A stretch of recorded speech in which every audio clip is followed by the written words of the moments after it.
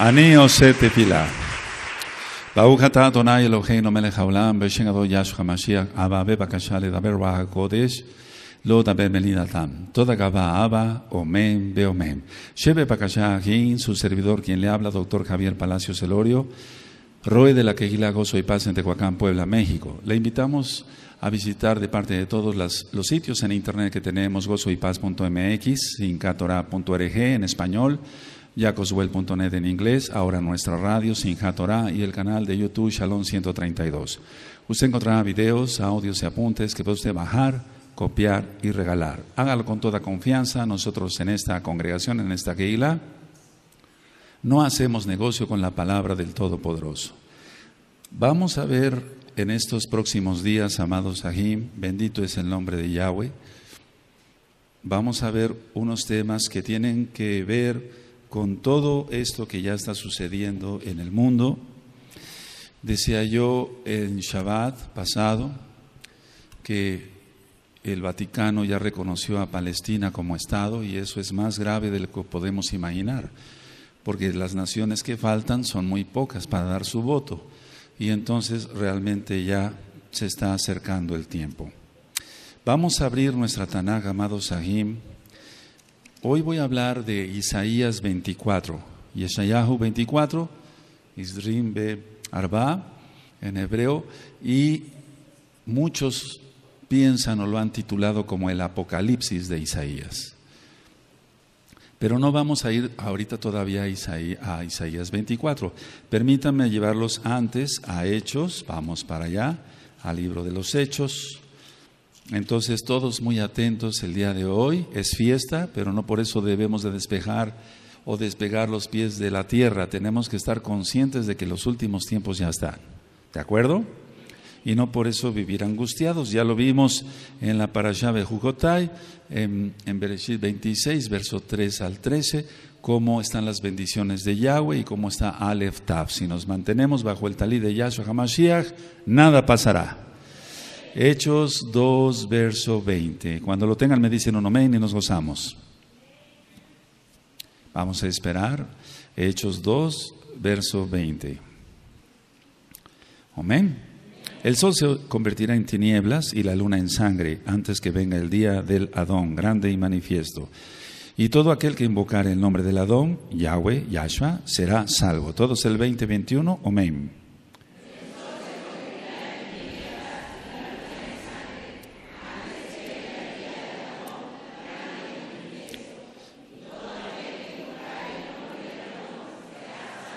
Ahora, estamos viendo que ya está por venir la cuarta luna roja. Entonces, atención, muchos están siendo incrédulos a pesar de que se dicen mesiánicos y mencionan, no, falta mucho tiempo, etcétera, el Roe Palacio se está exagerando. No, no va a haber otra tetrada de lunas rojas hasta dentro de 500 años. Entonces, esta tierra podrá aguantar 500 años, ni 100, ni 50, ni 10. Ya todo está listo para que venga Yahshua. Amén. Ahora, en 1967 y en 1968, con la guerra de los seis eh, días, hubo también lunas rojas. En 1949 antes y en 1950 hubo también lunas rojas y todo tiene que ver con Israel y fueron en Pesach y Sukkot. Entonces, si, no entendemos estas señales que Yahshua ha, ha puesto eh, en su bendita Tana para que entendamos, si no entendemos las señales del mar de fondo, eso no se llama mar de fondo, se llaman juicios del Eterno. Y el mar de fondo, o sea, que lo que es mar de fondo, eso lo vamos a ver el miércoles, por eso les invito a venir. Eso está profetizado en Lucas 21, verso 25. Entonces la gente ve, ve, las noticias, o probablemente un pseudo mesiánico ve las noticias y ve que fueron unas olas de 10 metros y dicen, bueno, se está saliendo, ¿qué es que es mar de fondo? No, pues es que hay vientos muy fuertes que vienen de Australia y eso empuja el mar. Por favor, tenemos que entender que Yahweh está moviendo su mano poderosa. Y vienen los juicios más terribles que, que, que, que jamás la tierra ha experimentado. Pero eso hablaremos el día miércoles sobre lo del mar. Ahora, vamos por favor al libro de Joel, amado Sahim. Vamos para allá. Vamos para allá. El miércoles vamos a ver cosas mucho, muy interesantes, pero hoy también, lógico. Vamos para el libro de Joel. Bendito es Yahweh. Estamos gozosos en esta fiesta, pero no por eso despejar o despegar los, los pies sobre la tierra y empezar a, a hacer cosas que no convienen. En Joel 3.2 y esto es por lo que decía yo de que el Vaticano ya reconoció a Palestina como Estado y quieren que Israel vuelva a las fronteras de antes del 67. Es decir, que Israel entregue el Kotel, imagínate, que entregue Jerusalén 3.2. ¿Sí tienen Joel 3.2? Reuniré a todas las naciones y las haré descender al valle de Josafat. Allí entraré en juicio con ellas a causa de mi pueblo y de Israel, mi heredad a quien ellas se esparcieron entre las naciones y repartieron mi tierra. En otras versiones dice, ay de los que reparten mi tierra, ay de los que reparten mi tierra. Entonces, el Eterno está airado ahora más que nunca con esa declaración del Vaticano. Ahora, vamos por favor a Isaías, vamos a entender mejor la escritura. Vamos a Isaías 24, por favor, amados aquí, vamos para allá. Y les vuelvo a repetir, este, este capítulo de Isaías, muchos los llaman el Apocalipsis de Isaías. Ahora vamos a entender el por qué. Yo voy a leer y después voy a ir ministrando o interrumpiendo la lectura en lo que voy ministrando. Si tienen Isaías capítulo 24. Bueno, verso 1. He aquí que Yahweh vacía la tierra y la desnuda y trastorna su faz y hace esparcir a sus moradores. Eso es lo que va a suceder en la tribulación. Aquí Isaías está hablando directamente de la tribulación. Y sucederá así como al pueblo, también al Cohen, como al siervo, así a su amo, como a la criada, a su ama, como al que compra, al que vende, como al que presta, al que toma prestado, como al que da al logro, así al que lo recibe. Es decir, que va a haber un juicio general, va a haber un juicio general. Entonces ustedes pueden anotar de este verso 1 y 2, sería, será el día terrible de Yahweh. Viene un juicio para todas las naciones, pero el juicio empieza por la propia casa. Israel tiene que ser juzgado también por no guardar la Torah. Tú sigue guardando Torah, sigue siendo Kadosh. Y si no, hazte Shubá, arrepiéntete y, y vuélvete al, al único Elohim que te puede salvar. Yahshua es su nombre. Y pueden ustedes anotar acá, por favor, eh, una, una, una frase. Israel será preservado. Anótalo. Y ahorita voy a explicar. Israel será preservado. Ahora, dice el verso 3, la tierra será enteramente vaciada y completamente saqueada porque Yahweh ha pronunciado esta palabra. A ver todos el 3, amén.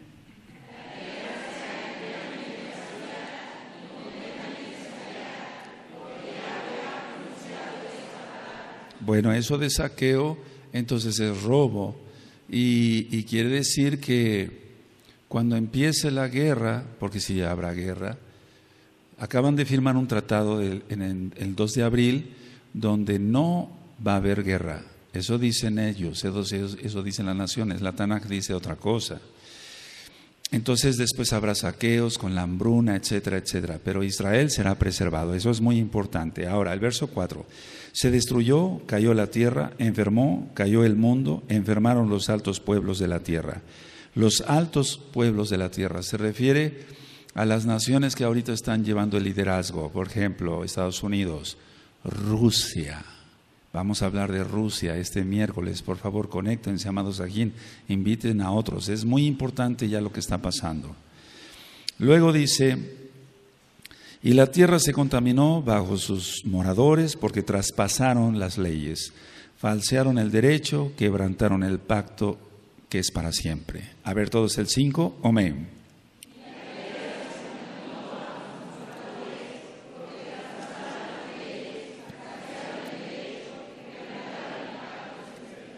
Yo me puse a revisar algunas Biblias de todo tipo y eh, da risa lo que dicen aquí como interpretación. Dicen, probablemente se refiera a la alianza que hizo con Noah. No, no. O dicen, o a lo mejor, así dicen las referencias, o a lo mejor se refiere a el aviso que dio Dios en el Sinaí. Claro que se refiere a la Torah. Claro que se refiere, no está hablando de Noah, está hablando eh, exactamente de que se violó. ¿Qué se violó? Anoten esto, cambiaron el Shabbat por el domingo. Eso ya lo sabes. Pero es bueno recalcar el por qué va a venir la gran tribulación. Cambiaron el Shabbat por el domingo. ¿Qué otra cosa? El nombre bendito del Todopoderoso. Lo cambiaron por un apodo. Jesús. Yahshua HaMashiach reprenda eso. ¿Qué otra cosa cambiaron? Y eso vamos a verlo el día miércoles. Fiestas paganas por las fiestas del Eterno. O sea, introdujeron fiestas paganas y quitaron las fiestas del Todopoderoso. Entonces está claro que se refiere a la Torá. Ahora, millones de personas siguen bajo el encantamiento de Roma. Y eso lo vamos a ver aún con más profundidad el día miércoles. Verso 6 dice, por esta causa la maldición consumió la tierra, entonces ya está hablando en pasado, ¿me entienden? Ya sucedió. O sea, sucederá en este momento, todavía no ha sucedido, pero el profeta, inspirado por el Ruajacod, está diciendo, ya sucedió. Por esta causa la maldición consumió la tierra y sus moradores fueron asolados. Por esta causa fueron consumidos los habitantes de la tierra y disminuyeron los hombres. Ahora, esta situación va a ser, uno, por las guerras, porque los primeros que mueren son los varones. Pero en el contexto profundo no se refiere tanto a que van a disminuir, sí, tiene que ver lo de la guerra, pero yo siento así, sin temor a equivocarme, se refiere a más bien, no nada más a la guerra, sino a otras catástrofes. Entonces, pocos hombres serán dejados en la tierra, anótalo pocos hombres serán dejados en la tierra. La idea del arrebatamiento sabemos que es falsa y que, y por cierto, fue creada por la católica romana, no por la cristiana. Eso ya, hay, hay, unos tres videos y audios que le titulé Códigos Bíblicos. Véanlos, escúchenlos. Ahora, hubo una obra que por ¿por qué no decirlo? Tuvo mucho éxito en libros y en películas dejados atrás. ¿Sí recuerdan eso? ¿Alguien leyó de eso? Sí, dejados atrás. Entonces, supuestamente los que decían dejados atrás es porque no fueron llevados en el arrebatamiento. No, eso, eso es una locura. Aquí el que sea dejado tiene más posibilidad de salvarse. Anótalo. El que se ha dejado en la tierra tiene más posibilidad de salvarse. ¿Por qué? Porque puede hacer Teshuvah.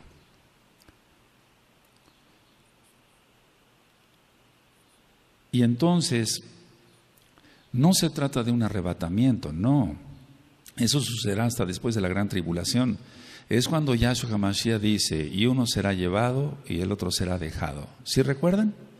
Y uno será llevado y, y una mujer será llevada y la otra será dejada. A eso se refiere este pasuk. Ahora, no al arrebatamiento. Entonces, los que sean llamados son llamados pero para juicio y para mandarlos al mismo infierno. Eh, a eso se refiere el verso 6 cuando dice, y disminuyeron los hombres. Entonces, pocos hombres van a quedar sobre la tierra. Los que sean llamados para juicio. Y los que sean dejados no todos van a ser salvos, pero tienen más oportunidad de salvarse haciendo teshuva. Y se refiere a la cita de Yahshua, bendito es su nombre. Ahora, seguimos. Se el verso 7. Se perdió el vino, enfermó la vid, gimieron todos los que eran alegres de corazón. Cesó, cesó el regocijo de los panderos, se acabó el estruendo de los que se alegran, cesó la alegría del arpa. Entonces aquí se está refiriendo que muchos que, son Israel o la, misma casa de Israel, por hipócrita, ambas casas, porque vamos a ver que pecaron las dos casas, ahorita vamos a ver la cita. Entonces, eh, muchos que están en congregaciones, tocan el pandero, danzan, etcétera, etcétera, pero son hipócritas. hacen la shonjara, son traidores, eh, transgreden Shabbat, etcétera, etcétera, etcétera. Se refiere a esa gente, va a cesar su gozo. No beberán vino con cantar, dice el 9, y la sidra les será amarga a los que la bebieren.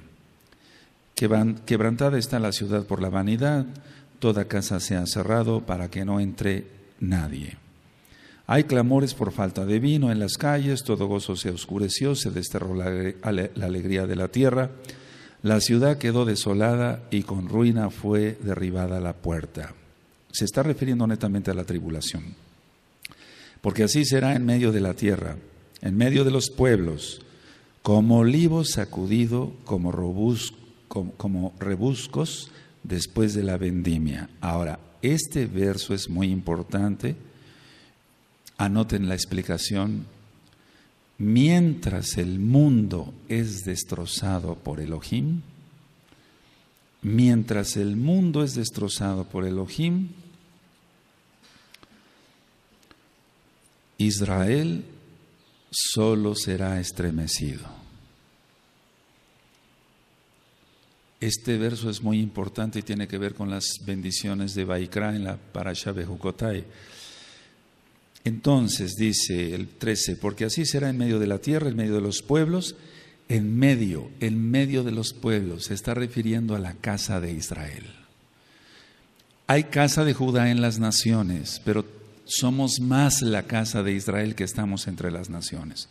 Entonces, pongan mucha atención y esto que sirva para alivio de tu alma, tú que eres Kadosh, y tú que todavía no te afirmas, hasta Shubá mientras va a haber destrucción en todas las ciudades del mundo, la casa de Israel que guarde la Torah y crea en Yahshua, solo será como si se le diera una pequeña sacudida. Fíjense muy bien, porque así será en medio de la tierra, en medio de los pueblos, como olivo sacudido. Recuerda, el olivo siempre representa a Israel. ¿A qué representa? Ya lo hemos visto sacudido como rebuscos después de la vendimia, o sea, solamente una, una zarandeada a Israel. Ahora, dice el verso 14, estos alzarán su voz, cantarán gozosos por la grandeza de Yahweh, desde el mar darán voces. Voy a explicar, pero quiero que lo lean el 14, por favor, amados Aguín. Amén.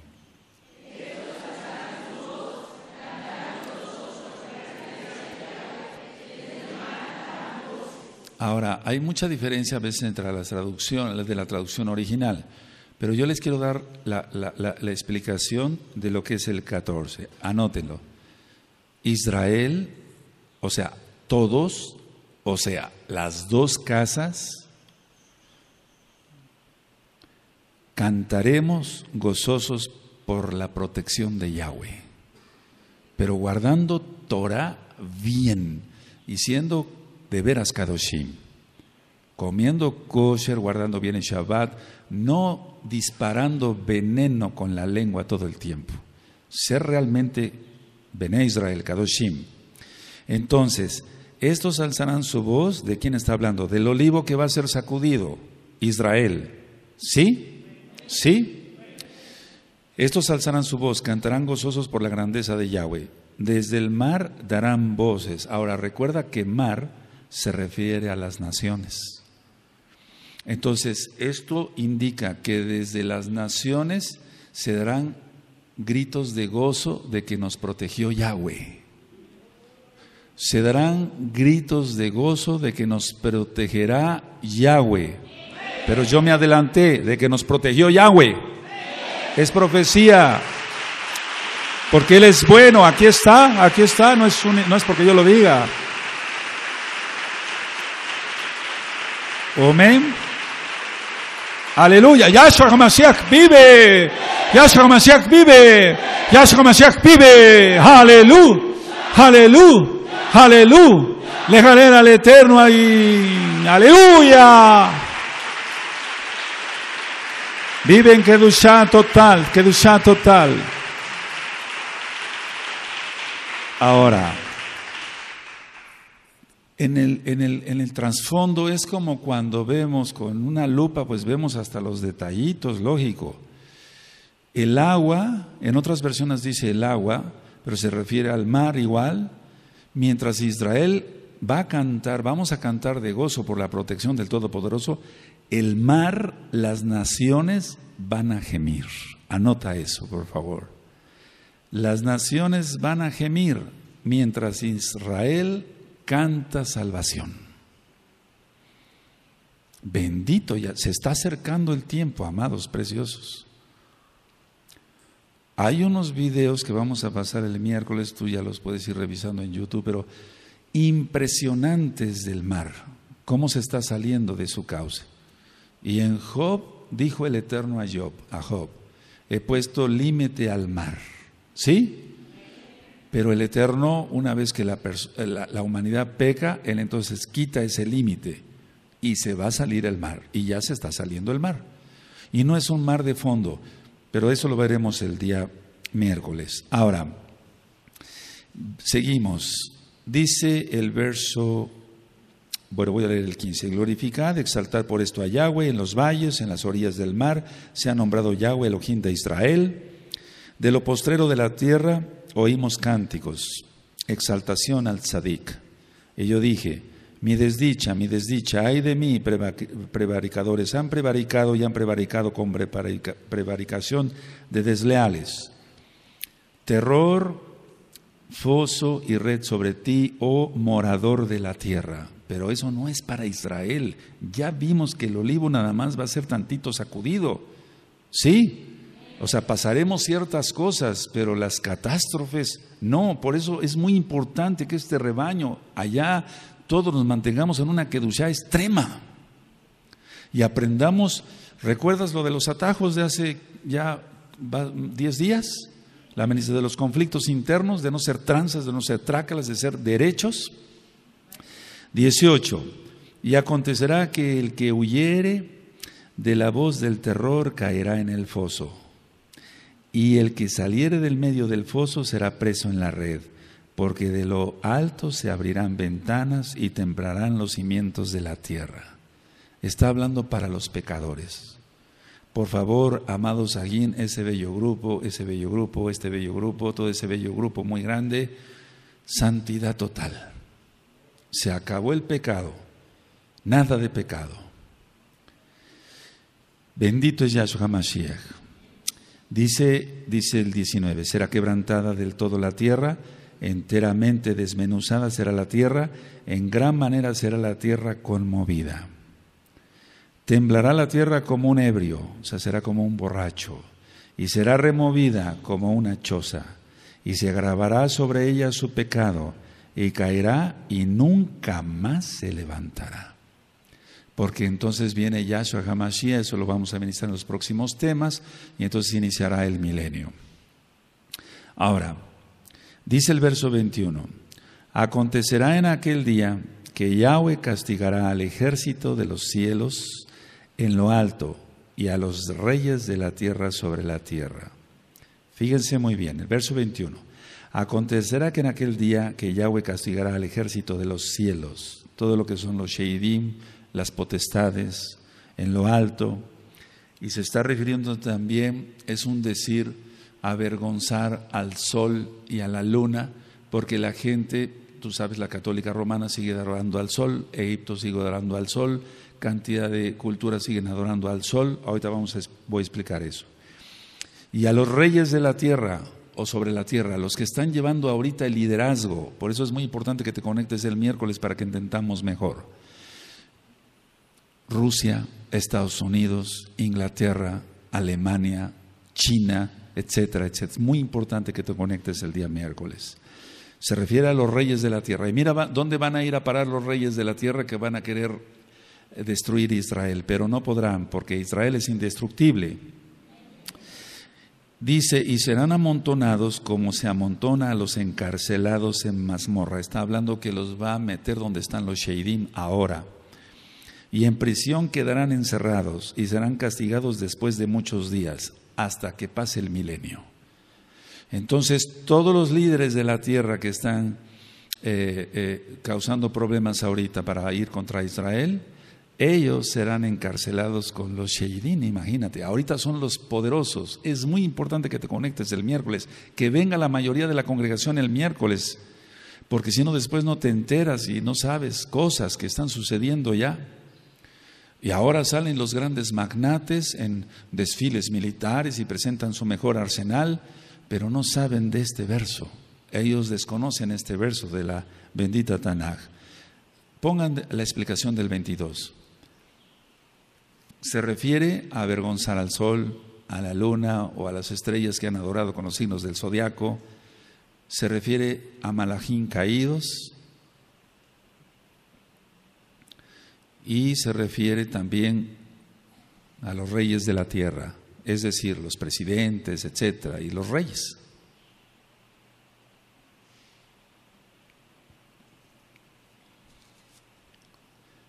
y ellos van a ser encarcelados hasta el juicio del gran trono blanco. Y eso sucederá después de mil años, por eso de aquí, de muchos días, después de mil años. Ahora, fíjense qué interesante el verso 23. La luna, en muchas traducciones, dice, se abochornará. La luna se abochornará y cuando los que han tenido bochornos, eh, la persona se pone colorada, Puede ser un bochorno por la menopausia, puede ser un bochorno por vergüenza, por pena, ¿sí? Entonces está hablando de la luna roja, la luna de sangre. La luna se avergonzará, se abochornará, se pondrá roja y el sol se confundirá. Cuando Yahweh de los ejércitos reina en el monte de Sión, en Yerushalayim, y delante de sus ancianos será esplendoroso. Ahora anoten, y con esto voy terminando, el 23. En el milenio, los Kadoshim con cuerpos inmortales,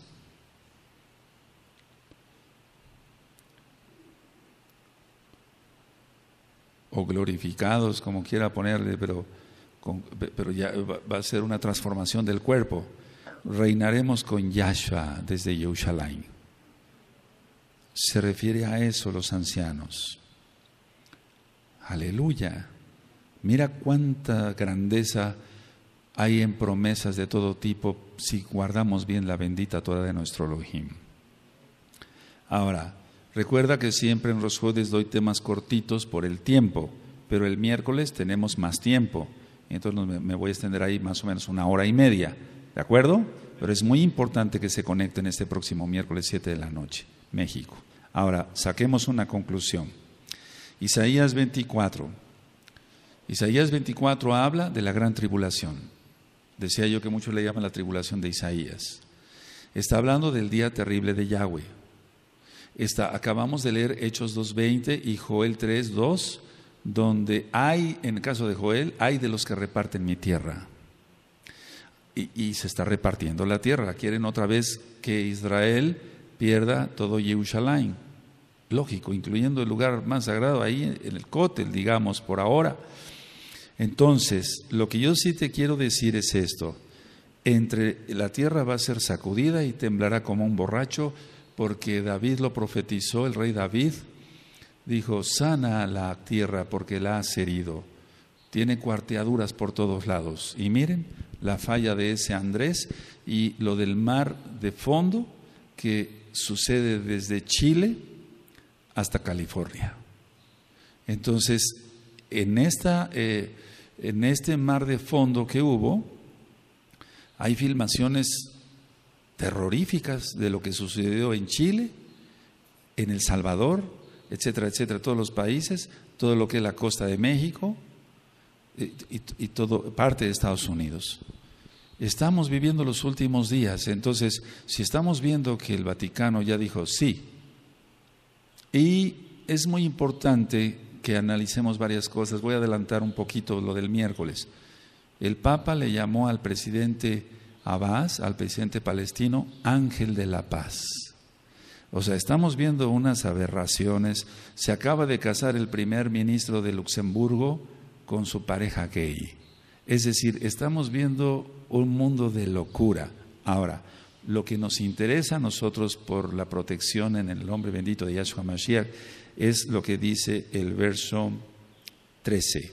Solamente Israel será sacudido, pero nada más. Eso te tiene que traer a ti una tranquilidad, pero si eres Kadosh y si no, ponte a temblar. Hazte Shubá, arrepiéntete. Y termino con esto. No va a haber, es decir, no va a haber otra tetrada de lunas rojas hasta dentro de 500 años. Para eso ya estamos adelantaditos en el milenio. Abba se ha ministrado tu palabra, Abba, para que todos temblemos ante tu presencia, seamos reverentes y adoradores de ti, bendito Yahweh. Abba tengas rajamín de este rebaño que se ha reunido hoy aquí y allá, de nuestros amados Sahim. Tengas rajamín de todos los Kadoshim que no tenemos la, la, bendición de conocer, Abba, y que temblemos, Abba, que no pequemos, que nos guardemos en Kedusha. Abba Kadosh, toda Gabá, porque nos das palabra para vivir confiados y gozosos de que Israel solamente será estremecido. Pásame otra vez mi Tanakh. Solamente será estremecido. Abran su Tanakh, por favor, toda Gabá, toda saquen. En Jeremías, en Jeremías,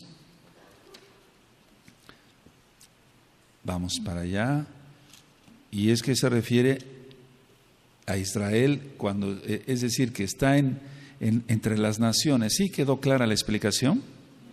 Sí quedó clara. Entonces, mientras Israel dará, daremos voces de gozo de que nos salvó, las naciones van a gemir. Jeremías 11, 17. Las dos casas pecaron, las dos. Viene juicio contra las dos casas si no se arrepienten, tanto Judá como Israel. Y Judá tiene que reconocer que Yahshua es el Mashiach. Jeremías 11, 17. ¿Lo tienen? Porque Yahweh de los ejércitos que te plantó ha pronunciado mal contra ti, a causa de la maldad que la casa de Israel y la casa de Judá han hecho, provocándome a ira con incensar a ver todos, amén.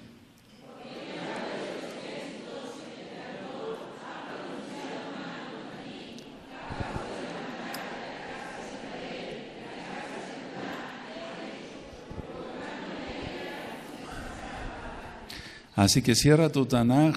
Entonces todos fuimos pecadores, todos fuimos pecadores.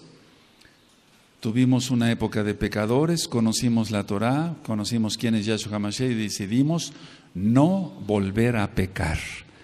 De eso trata la Tanaj, que vivamos en santidad. Nunca dice que estemos coqueteando con el pecado, guiñándole el ojo al diablo, sino en una extrema santidad. Entonces el Eterno tendrá rajem y solamente dará una sacudida a nuestras vidas. Que así sea. Y así será. Para los Kadoshim, vamos a ponernos de pie, amados Sahim. Toda Gabá por tu palabra, Abacados, porque nos alientas, Abacados, a ser Kadoshim. Así lo haremos. En el nombre bendito de nuestro don Yahshua Mashiach. Amén. Ve.